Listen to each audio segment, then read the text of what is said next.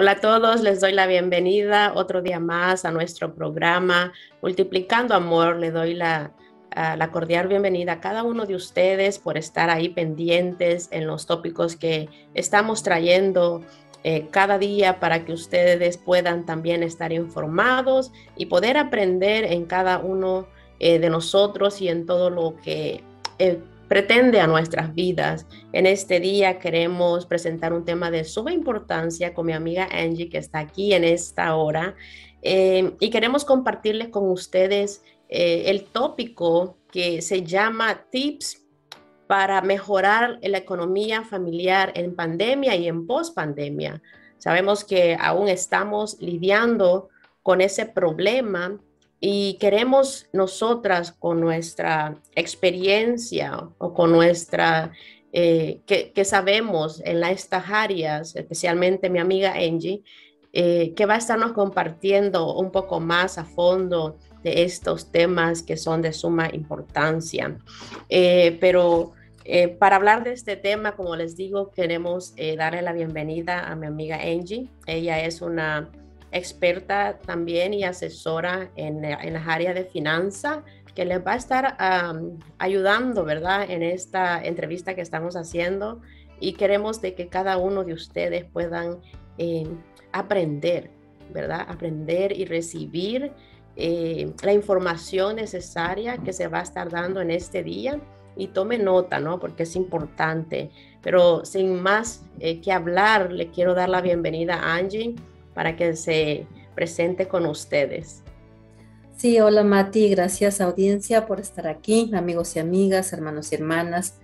Es nuestro propósito traerles información de utilidad para sus vidas, en este caso en temas de economía. Entonces vamos a, a empezar. Para poder tomar mejores decisiones, sepamos que pues hay que estar bien informados definitivamente. Así es. Entonces,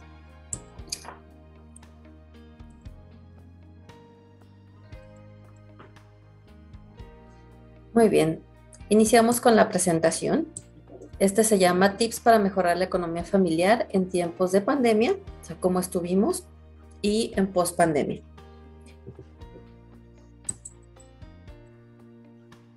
Pues, ¿qué, ¿qué, veremos?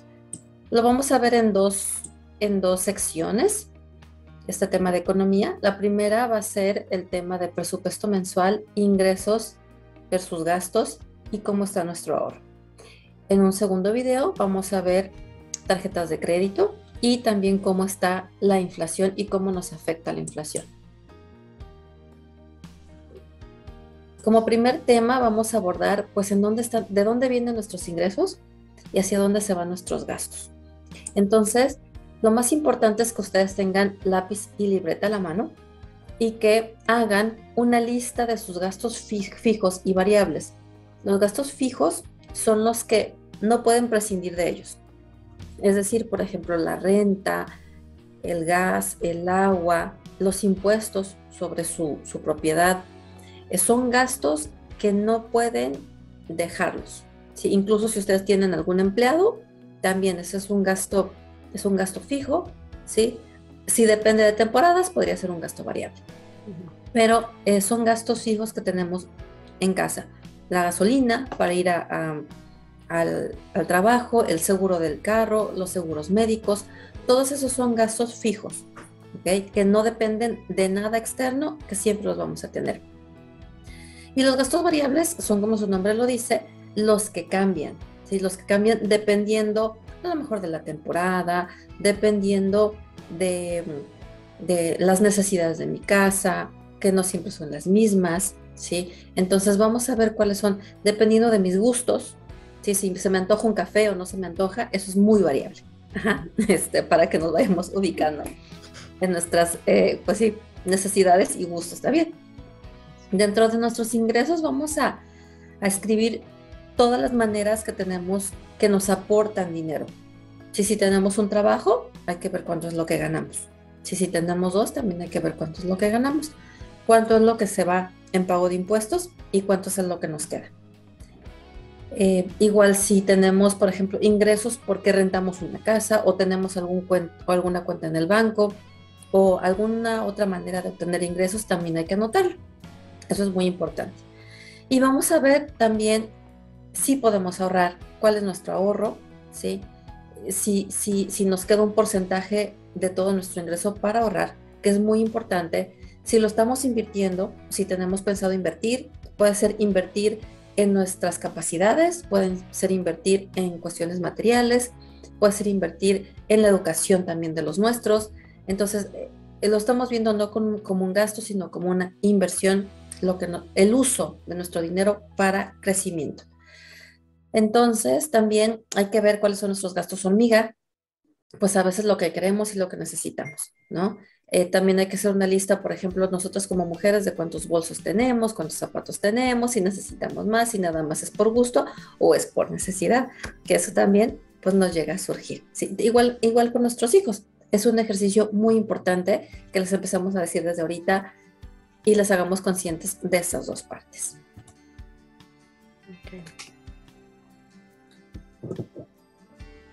Dentro de esto, bueno, pues vamos a ver y vamos a hacer una hoja de presupuesto. Este es un ejemplo de un presupuesto mensual, ¿sí? En donde, por ejemplo, dentro de nuestros ingresos, como les había comentado, están los sueldos, los intereses bancarios, ingresos por trabajos extras, subvenciones que nosotros estemos obteniendo, pensiones alimenticias, también se pueden incluir, pensiones de seguridad social para personas jubiladas, alquileres cobrados y otros tipos de ingresos. En nuestros gastos, como mencionamos, están los fijos, que, ya los dijimos, los variables, que también ya los comentamos, y nuestros gastos eh, discrecionales, que dependen, ¿no? De, pues puedo prescindir de ellos y no pasa nada. Y esto sí nos permite tener algún ahorro para poder saber cuál es mi ahorro adicional, que es la diferencia entre el total de ingresos y de gastos. Esto es lo que me daría mi ahorro en, mi casa, mi ahorro adicional. Un ejemplo de cómo lo pueden llevar a cabo es que coloquen, por ejemplo, cuáles son sus ingresos en un lado y esto lo pueden hacer por mes. ¿sí? Y por el otro lado, tengan, por ejemplo, contemplado cuáles son sus gastos. ¿sí? Y de esto les dé un balance. Normalmente lo que yo siempre he dicho a las personas es que puedan ahorrar por lo menos el, un tercio de lo que ganan, ¿sí? Si por ejemplo yo gano 10 eh, mil dólares mensuales, por decir algo, sí, obviamente también hay que considerar nuestros aportes a la iglesia, nuestro diezmo, nuestras ofrendas, eso hay que considerarlo porque es una parte muy importante para tanto para em, darle gracias a Dios de lo que ya nos ha dado porque le pertenece, ¿no? Es, es, un agradecimiento a su iglesia, a que, a que pues haya pan de vida y nosotros la encontremos. Sí, además las bendiciones que tenemos son muy, muy buenas. Eh, los invito también a que, a que eh, consulten pues el libro de Malaquías. En el capítulo 3, el versículo 8 al 10, ahí podemos encontrar la parte del diezmo y es muy importante que que lo tomemos en cuenta. Sí, este, y bueno, después de, esto vamos a ver, por ejemplo, si doy el 10%, son mil dólares, me quedan nueve mil. ¿no? De esos nueve mil, pues puedo ahorrar el, eh, el 3%. Si puedo yo ahorrar tres mil dólares y hacer mis gastos con seis mil dólares, sería excelente. ¿Sí? ¿Por qué? Porque ese ahorro siempre va quedando. Entre más ahorremos, pues es mejor, ¿no? Este, claro, si no se puede, bueno, hay que considerarlo, pero por lo menos el 10% de esos 9 mil, que serían 900 dólares. No se tocan y ahí van a estar. E imaginemos si esto lo hacemos todos los meses, a final de año, cuánto vamos a tener. Sí, es un ejercicio muy importante. Bueno, eso es todo por este momento. Si tienen alguna pregunta, no sé, hermana Mati, eh, bueno, me pueden encontrar en Angelina Hernández Asesores, arroba gmail.com. No sé, hermana Mati, si usted tiene algo eh, que mencionarnos. Sí, este, lo que estabas eh, mencionando acerca de los ahorros, creo que es algo que muchos de nosotros no debemos de implementar si el caso no lo estamos haciendo. Eh, sabemos de que estamos lidiando con este, eh, pre y post pandemia aún todavía, ¿no? Este, el post pandemia más que todo ya lo, ya lo estamos pasando, pero aún nos sigue afectando de gran manera porque, bueno, más adelante nos vas a estar tocando los otros eh, dos temas, ¿verdad? En la otra parte, pero queremos recalcar de que si ustedes no están haciendo un plan de ahorro, hoy por hoy, eh, nosotras eh, les estamos instando a ustedes de que puedan empezar a hacerlo. Eh, inclusive si es, si usted dice, me quedan 20 dólares ah, extra de, mi, de, mi, de todo lo que yo pago y, y etcétera, entonces ahorre esos 20 dólares, ¿no? Porque ya multiplicado, ¿verdad? Por un año es dinero. So, no importa lo, poco que sea, pero poder irlo apartando y va a ser eh, de gran ayuda, gran ayuda porque no sabemos qué viene para el día de mañana y lo que necesitamos es efectivo, efectivo, plan, eh, dinero ahorrado para que nosotros podamos estar preparados en esos casos de emergencia. Es, lo que les quería yo recalcar, de que ustedes pueden, en verdad, empezar desde ya. Si usted medita y dice, wow, eh, estoy viviendo el día a día, dice uno, ¿no? Pero ahora puede ser ese día de que usted diga y medite lo que Angie nos ha compartido y diga, wow, necesito empezar a ahorrar o necesito ver a dónde puedo, se me está saliendo lo extra y poder modificarlo y poder aprender eh, todos en estas áreas que son de suma importancia para nuestra vida. Gracias Angie y pronto, ¿verdad? Vendrá la segunda parte eh, de este tópico y estén pendientes porque también traemos información eh, importante para que sigamos aprendiendo todos juntos. Bendiciones y los esperamos y estén ahí pendientes que vamos a salir muy pronto. Gracias. Gracias. Bendiciones. Bendiciones.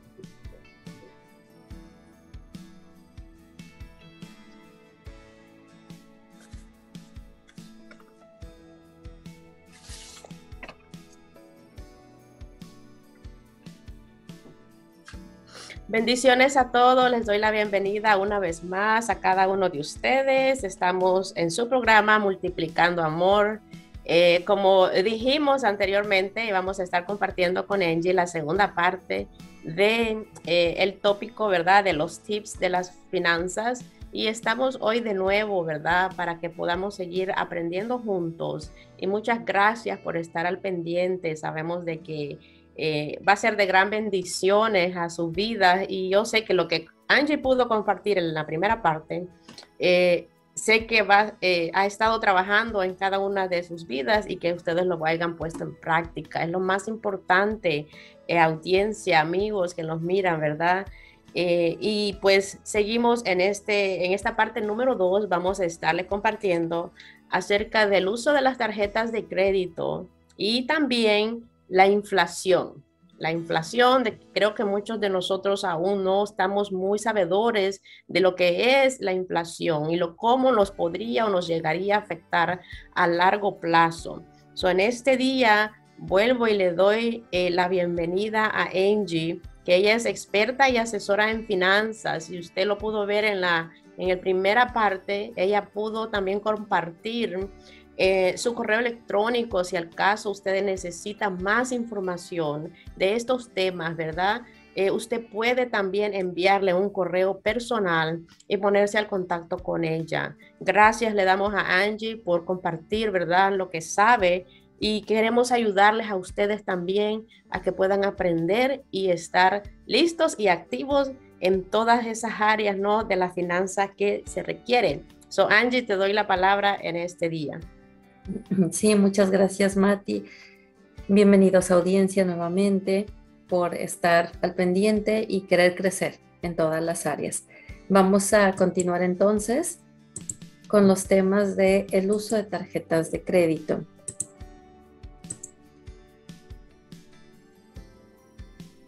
Las tarjetas de crédito, bueno, sepamos que nos ayudan, ¿sí?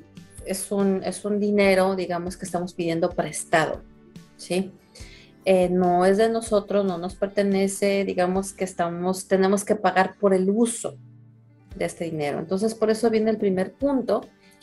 Y este uso de dinero pues tiene un precio que le llamamos tasa de interés. Eh, hay que ver que el componente, los componentes de la tasa de interés que nosotros pagamos están formados por dos factores, por la inflación y por una tasa de interés real. ¿sí? Entonces, si vemos que la inflación sube y, se tiene que cobrar una tasa de interés real, pues vamos a ver que las tasas de interés van a estar subiendo. ¿sí? Entonces, si nosotros tenemos una tarjeta de crédito y estamos gaste y gaste y gaste y no pagamos, ¿sí? Entonces nuestro monto va a seguir aumentando, ¿sí? Nuestro monto de deuda. Entonces hay que tener mucho cuidado. ¿Por qué? Porque esto también se hace sobre saldos insolutos. ¿Qué es un saldo insoluto? Es la suma de lo que, lo que he venido debiendo. Este saldo incluye lo que debía más el interés que se generó, ¿no? Entonces hay que tener mucho, mucho cuidado y hay que estar checando nuestros balances. Ese es un aspecto muy importante y prioritario, es checar cómo están sus finanzas, ¿sí? Entonces, como punto número dos, vamos a ver que el costo de la deuda crece de manera exponencial si nosotros no lo pagamos, ¿sí? Y hay que tener cuidado. Recientemente les puedo compartir que al comprar algunas, algunos accesorios, algunas cosas, me dicen, ¿quieres abrir una tarjeta de crédito? Y la abro. Pero me voy dando cuenta de que uno le dice, no, pero tienes hasta el 15 del mes, ¿no? Entonces uno se confía. Y luego si a uno se le olvida, ese es el problema, que a uno se le olvida pues, pues pagar esto, ¿no? Entonces hay que tener mucho, mucho cuidado. Como punto número tres, tenemos que puedo obtener un crédito si, solo si, dispongo tres veces más del monto de la deuda después de mis gastos fijos. Como lo vimos en un principio, tenemos gastos fijos. ¿sí? Si yo tengo un monto mayor ¿sí? que me pueda permitir hacer, hacer frente a este crédito, entonces lo puedo obtener. Por ejemplo, ¿En, qué sacamos créditos? Sacamos crédito en la compra de un carro, en la compra de una casa, ¿sí? Bueno, yo tengo que ver si cuánto, cuánto necesito para gastar en mi, en mi día a día, ¿sí? Y si yo puedo tener más dinero que me permita pagar ese, ese mortgage o esa, o esa tasa de interés, ¿sí? O, ese, o esa hipoteca, ¿sí? Eh, ¿Cómo lo veo? Bueno, voy a ver cuánto es lo que gasto cuánto es lo que ingreso y si lo puedo pagar. Sí, por lo menos que, de mi ingreso yo tenga tres veces más de ese monto, porque si no, eh, tenemos gastos que, no van a parar. ¿sí? Entonces, por ejemplo, em, hay gastos pequeños que, por decir, sería una compra de una lavadora, ¿no? Y si voy a pagar, no sé, este, 30 dólares mensuales, y la lavadora cuesta 600 mm, dólares, ¿sí? o, 1.200 dólares. Bueno, ahí puedo estar viendo, ah, quizás sí puedo. Pero si es la compra de una casa o la compra de un carro, bueno, entonces estamos hablando de montos mucho mayores, ¿no? O hay que tener bien en cuenta todo eso. Y no endeudarnos más tampoco. Si ya, si ya, si voy a comprar una, bueno, paso a pasito, ¿no? Este, para que, para que también seamos conservadores. Yo recomiendo esa parte con inteligencia, ¿no? El punto número cuatro es, si no tengo para pagarlo, mejor no lo compro. ¿Sí? Este, me podrá gustar, me podrá encantar, se ve muy bueno, pero hay muchas opciones, otras opciones. Y a veces es porque tenemos como una ansiedad adentro que nos dice, sí, compra, compra, lo necesitas, te gusta, te gusta, te lo mereces. y esa parte hay que, hay que darnos tiempo, hay que darnos tiempo de decir, ah, deja, voy a ver, ¿no? Voy a ver, a ver, a ver por dónde, si, si puedo encontrar mejores opciones. Y hay que diferenciar definitivamente entre la necesidad versus, versus lo que quiero y lo que necesito. ¿sí? Eso es bien, bien, bien importante. Pues como lo mencionaba, las tarjetas de crédito, eh, la, la, penetración del pago de crédito en América Latina, de acuerdo a, esta fuente, nos menciona que, por ejemplo, en, en Brasil, eh, pues ha crecido en el 2018, antes de la pandemia, este, casi para, para entrar en pandemia, este, pues creció en un 81.6%, ¿sí? Y si lo, si lo estamos viendo en los demás países, pues igual ha ido aumentando, ¿no? ¿Qué quiere decir? Que las personas nos estamos convenciendo más cada vez de, usar créditos, ¿sí? Eh, eh, sin embargo, bueno, hay que hacerlo, como lo mencionaba, con mucho ojo. Además, porque ahorita también en cualquier parte nos quieren dar una tarjeta de crédito. Eso también es bien, bien, bien, bien cierto e importante. Pues el uso de la, de la tarjeta de crédito, vamos a ver cuál es la manera más sana, ¿sí? Lo que gasto y lo que pago, y si, si lo gasto lo pago inmediatamente, eso es lo mejor, ¿sí? No esperar hasta que llegue el 15, sino luego, luego estar sobre la tarjeta para pagarla luego, luego, ¿sí? o ya gasté, pues pagarlo en el siguiente día, porque ese es el, juego, el juego es que se nos olvide el pago, ¿no? Y que nosotros, entre tanta ocupación, pues lo dejamos en, segunda, segunda prioridad o, décima prioridad. Entonces hay que tener por eso mucho cuidado. Es, y pagarlas, yo lo que hago es, si gasto en algo, lo antes posible o casi lo hago luego. ¿Tienen su propósito los créditos? Sí. ¿sí? Eh, por ejemplo, ¿Cuento, hay que, hay que preguntarnos, ¿cuento con la solvencia para pagar el mes y liquidar toda la deuda? Si sí lo tengo, lo gasto, ¿sí? Ahora, digamos, ¿qué es lo atractivo de, las tarjetas de crédito? Bueno, porque nos dan puntos, ¿sí? Porque nos regresan un porcentaje de lo que yo estoy gastando, porque algunos dicen, por cada mil dólares te regresamos 10 dólares, o pues son 10, aunque sean sobre mil, ¿no? Este, entonces, eh, nos van acumulando, por ejemplo, para nuestra calificación crediticia, ¿sí? Y también para hacer vuelos, para, para, para, ir a, a, otras partes, a viajar, pues podemos acumular puntos. Eso es pues lo, lo, bueno que tiene, ¿no? Además, si yo quiero obtener un crédito, tienen que ver mi historial crediticio que yo pagué. Ajá. Pues también es importante un uso conservador sería pues pagar el monto mínimo que nos dice y además eh, por lo menos un 50% del capital restante, ¿sí? Sin embargo, hay otra vez, mencionamos que si yo solamente pago el mínimo más el 50% de lo que yo debía, supongamos, gasté mil dólares y yo voy a pagar 500 más una tasa de interés sí, perdón, más, más el monto mínimo, digamos, voy a pagar 600, sí, pues me siguen quedando 400. Y sobre esos 400 se me van a ir acumulando este, una tasa de interés, ¿sí? Y si vuelvo a usar la tarjeta, vuelvo a poner, vuelvo a poner ahí eh, deuda. Entonces, es, es, es, conservador, pero de todos modos tiene su riesgo, ¿sí? Pues cuando se, se usa ilimitadamente es, es, cuando se paga solamente eh, el mínimo, ¿sí? Pero se acumulan intereses sobre capital. Esto es mucho más peligroso, ¿sí? Y un uso riesgoso es cuando se nos olvida pagar y entonces acumulamos intereses sobre capital, etcétera, ¿no?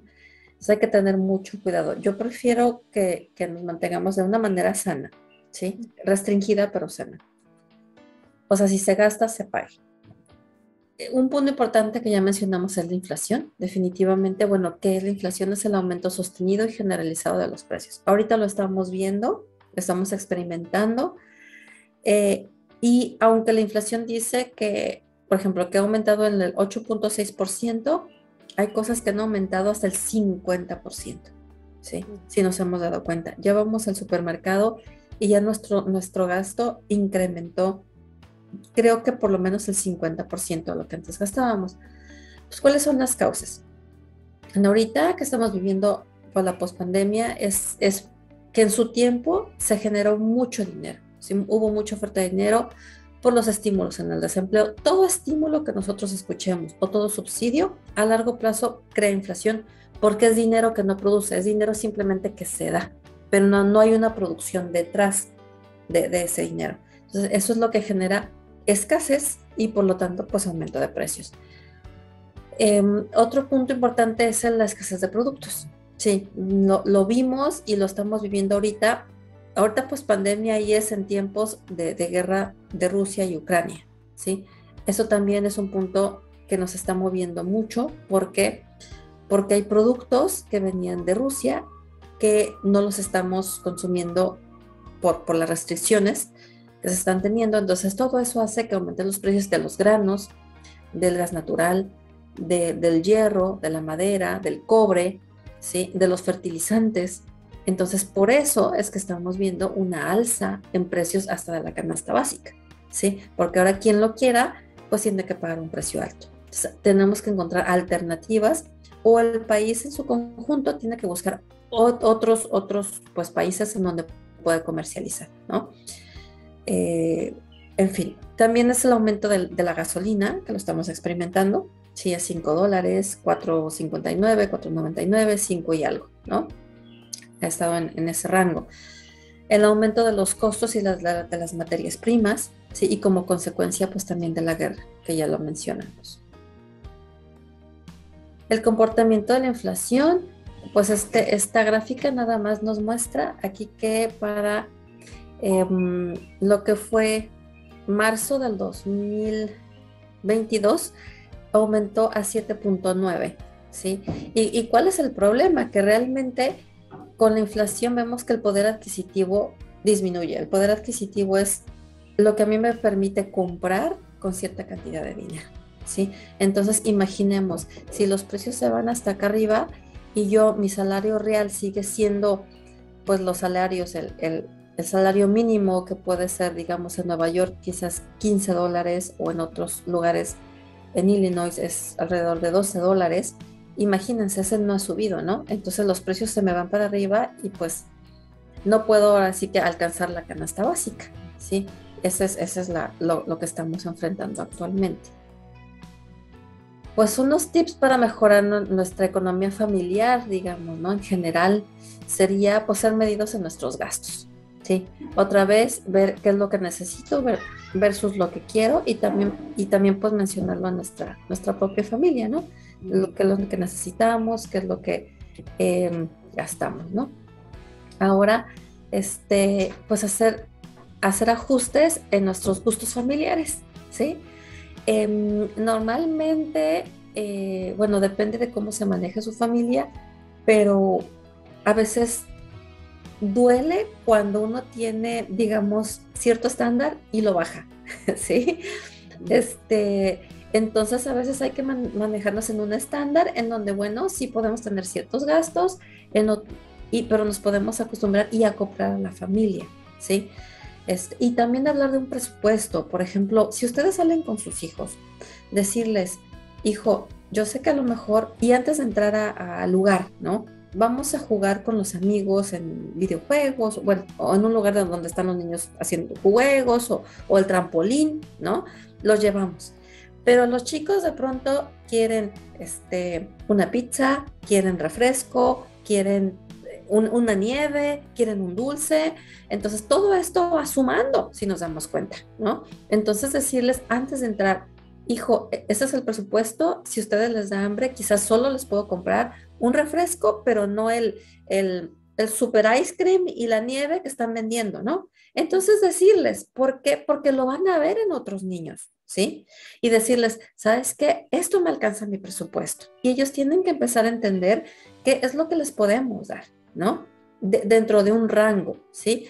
Este, ojo con los gastos hormiga, como ya lo mencionamos. Cumplir con nuestras obligaciones de impuestos, gastos familiares, nuestro diezmo y nuestra ofrenda a la iglesia y nuestros pagos de tarjetas es muy, muy, muy importante, ¿sí? O sea, que las condiciones de bienestar de mi casa no se vean afectadas. Y si tengo entonces yo que, no sé, a lo mejor poner eh, Mm, una, una película afuera en el, en, el garage o, o, en mi casa, pues lo hago también, ¿no? Y me ajusto, ¿sí? Y vamos a ver que también son momentos divertidos, ¿sí? aprender a decir no, este, eh, decirse no a uno mismo, decir no a los demás y, este, y aplicar el por qué, ¿no? Este, también la diferencia entre lo que necesito y lo que quiero, hacer un presupuesto, Em, estar al pendiente también de los especiales de las tiendas, usar tiendas de segunda mano si, si lo vemos conveniente. Hay productos que los niños solamente usan muy poquito, ¿sí? Y que se van rapidísimo, ¿sí? Por temporadas, sobre todo en, en, el país de Estados Unidos. Entonces, pues podemos hacer uso de esto, ¿no?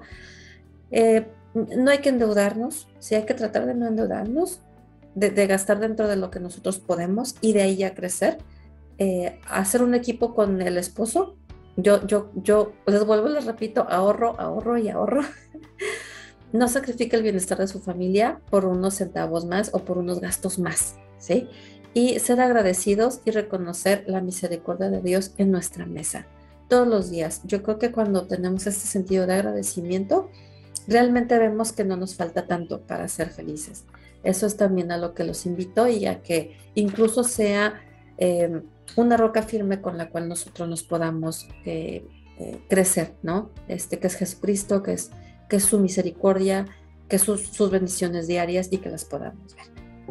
Pues esto sería todo de mi parte. Si tienen alguna pregunta, me pueden encontrar en Angelina Asesores.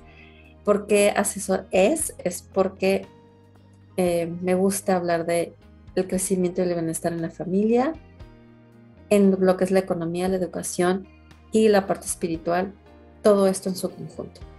Eh, muchas gracias. Gracias. Gracias, Angie. Eh, solamente quería también eh, hablar un poco de lo que estuviste hablando acerca de lo que es la inflación. Eh, queremos decirles a la audiencia, según la fuente de CNN, ellos publicaron ¿verdad? este artículo y dijeron de que esto, este es un caos en todo el mundo. no es local, no es por país, es mundial. Eh, y sabemos que, como lo mencionaste, que, ¿verdad? Por lo que sigue la invasión y la guerra, ¿verdad? Eh, allá en, en, Ucrania, eh, pues esto ha asfixiado, dice, las cadenas de suministro y ha elevado los precios, ¿verdad? Más que todo sobre qué es la energía. y es lo que estamos viendo hoy por hoy. So, usted no piense que es en Estados Unidos, pues hay muchas fuentes de que no hablan la verdad y, confunden a los, a los oyentes, pero nosotros queremos eh, dejarles saber de que esto es en todo el mundo. Sabemos que en China también, ¿verdad? siguen aumentando los casos de COVID. Eh, en varias ciudades también, ¿no? no solamente en China, pero lo que pasa es que China eh, ha tenido que cerrar de, nuevo, ¿verdad? Ciertas ciudades, lo que ha generado que la, obra, ¿verdad? Eh, esté falta de, obras. Entonces esto ha, elevado, eh, ¿verdad? Los salarios también, ¿verdad? Se han bloqueado y el flujo, ¿verdad? De mercancía ha disminuido en todo el mundo. Entonces, eh, la falta de mano de obra está bastante mal en todo en todos los países. Si nos podemos dar cuenta, eh, todas las eh, empresas están necesitando, necesitando y no dan abastos con las posiciones porque hay falta de mano de obra. Eso está generando un, precio también elevado, ¿verdad? En lo que es, en lo que ellos están vendiendo en sus mercancías. porque pues bueno, hay falta de eso, lo he podido también yo presenciar y esto que estamos, yo trabajo para una compañía de, de salud y también hay escasez de trabajadores. So, imagínense, si hay escasez en la área de salud, imagínense en todo lo demás, ¿no? So, e, es, es muy importante que nosotros sepamos. Eh, pero yo le quiero pedir una opinión, según su opinión a Angie. Estábamos, estaba yo leyendo y decía, ¿verdad? Que, que a dónde nos va a llevar la inflación. Y es de que, si en tu opinión tú crees que estamos cerca de llegar a una recesión o, o es que puede ser prevenible y entremos o lleguemos o estemos otra vez como pasó en el 2007, ¿verdad? Que fue la última recesión aquí en los Estados Unidos. ¿Y cómo tú crees que, estaríamos a punto de llegar o, puede ser eh, que no? No, sí, definitivamente. Definitivamente esto es algo que los analistas ya están diciendo.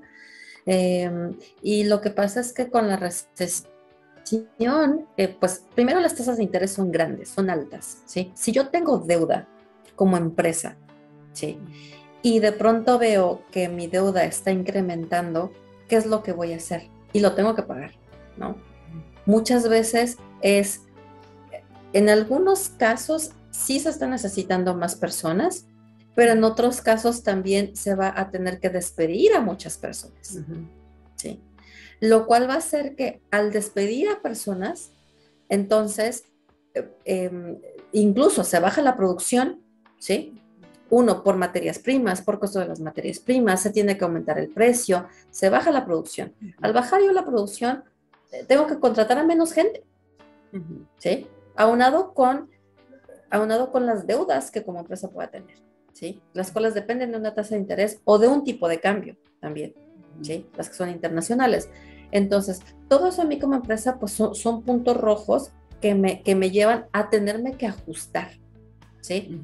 Entonces, ¿qué pasa? Puede o ser o que se les pague menos salario a las personas, pero imagínense, ¿sí? Si los precios ya están altos y se les paga menos, entonces, eh, eh, pues algunas personas pueden decir, pues a lo mejor me conviene, a lo mejor no, aunado al precio de la gasolina, ¿sí? Porque también ese es otro tema que nos está moviendo.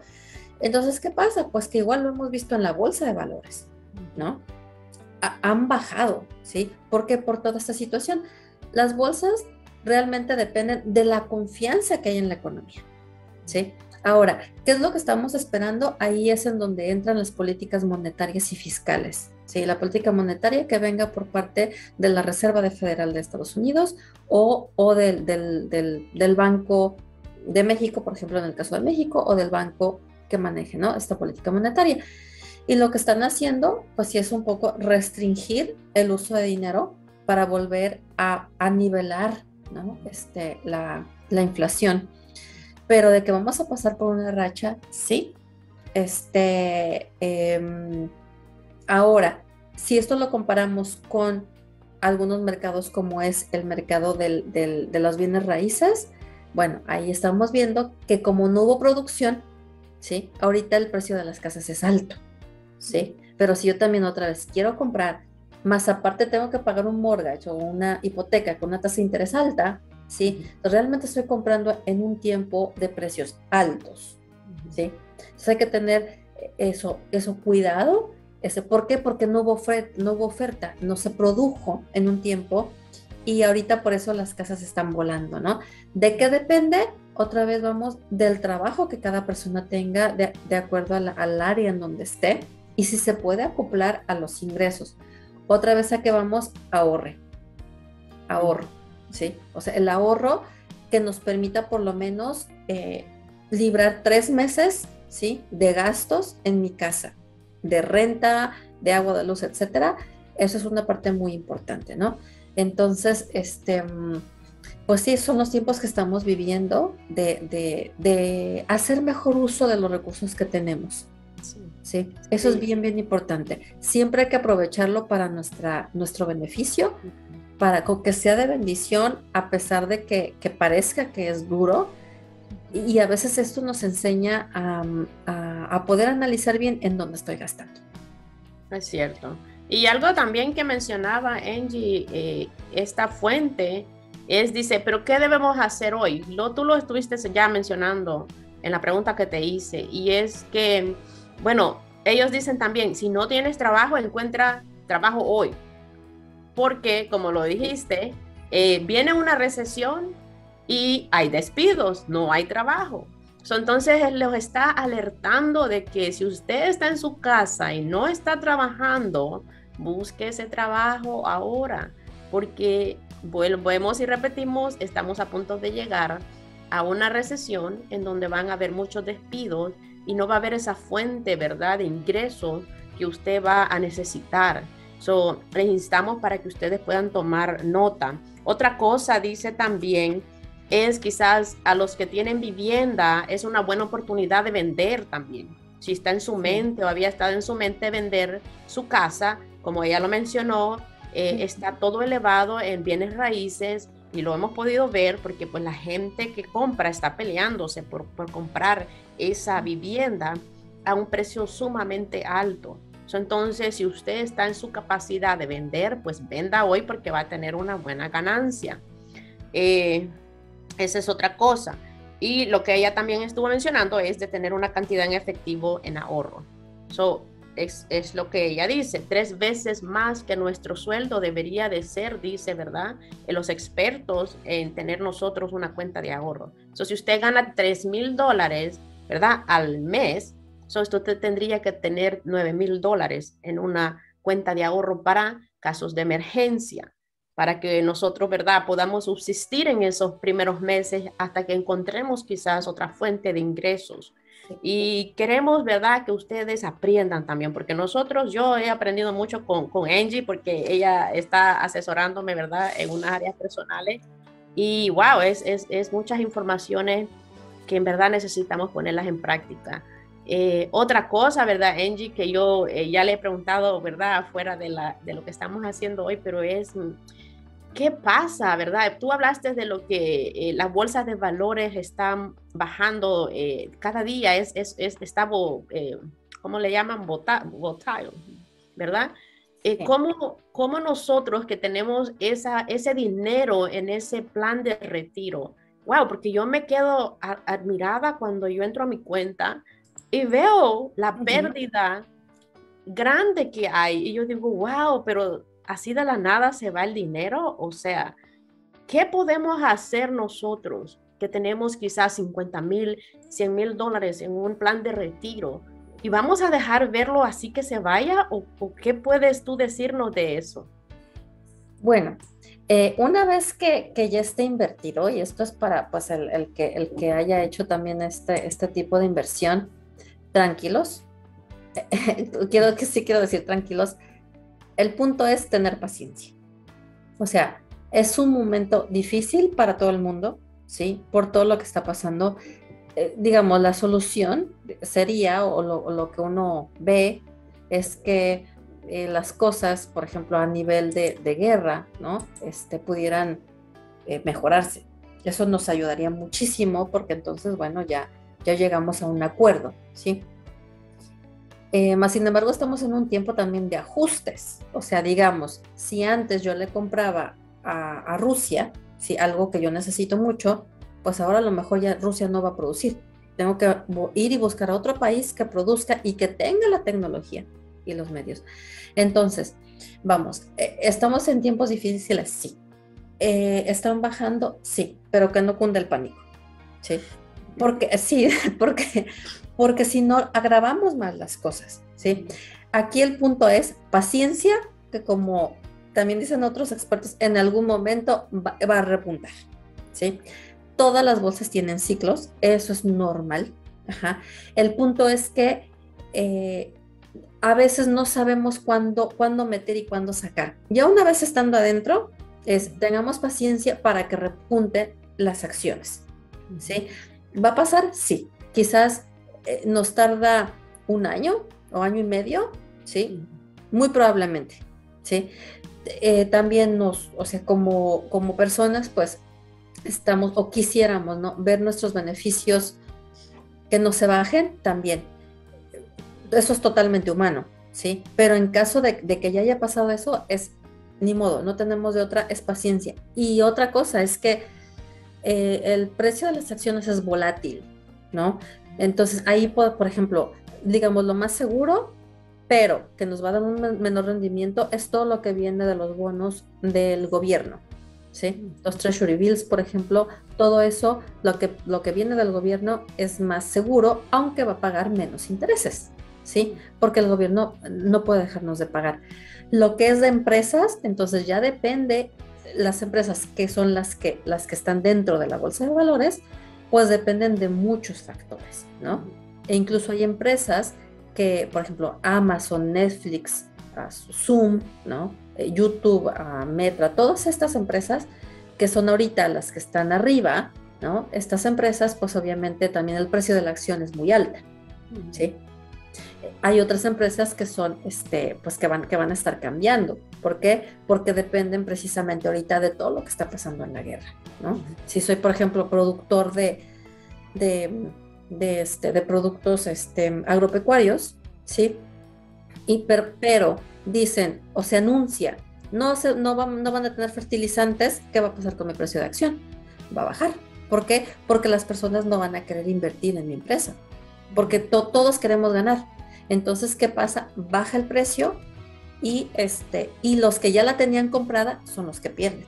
¿sí? Entonces, por eso a veces invertir, o sea, dejar nuestros fondos que se inviertan en la bolsa, eh, a veces uno eh, hay que sacarlos a tiempo o, este, em, ir viendo cómo se está comportando, ¿no?